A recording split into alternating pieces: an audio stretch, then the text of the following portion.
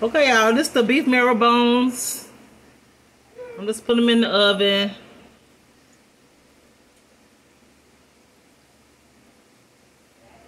I'm trying trying to cut my sausages up for my spaghetti right now. And I'll be back, y'all. So y'all want to make my Pillsbury biscuits that I had in the refrigerator. I, usually make um, garlic bread. I like to get garlic bread when I eat spaghetti, but I'm like, look, y'all to eat these these um, Pillsbury. They sit in the refrigerator, so I said, let me go ahead and use them so they won't go to waste. So I'm gonna cook two um, packs of these. So I put the other pack in another piece of um, another pan, another one of my aluminum pans. Okay, y'all, this is both pans. I'm gonna put these in the oven.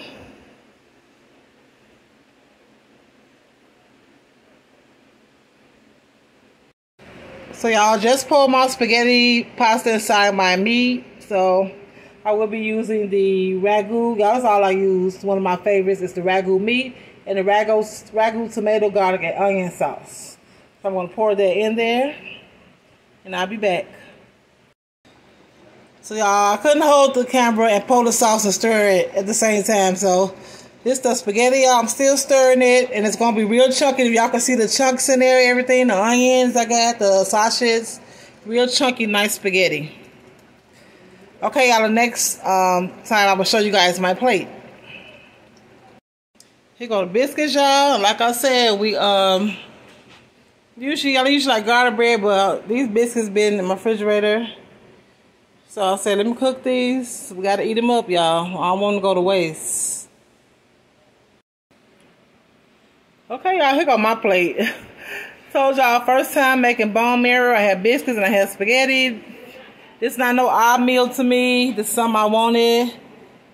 And I'm put a little hot sauce on these bone marrows and eat this spaghetti. My spaghetti real chunky today and, and it's beautiful. And yeah.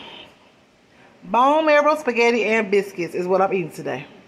Is what we're eating today for our Sunday dinner. Well, I don't know if the kids go on it, but I don't know. But it is a lot of it. And I will let y'all know how it tastes. Maybe on tomorrow video or something. Okay, love you guys. Have a good day. Take care.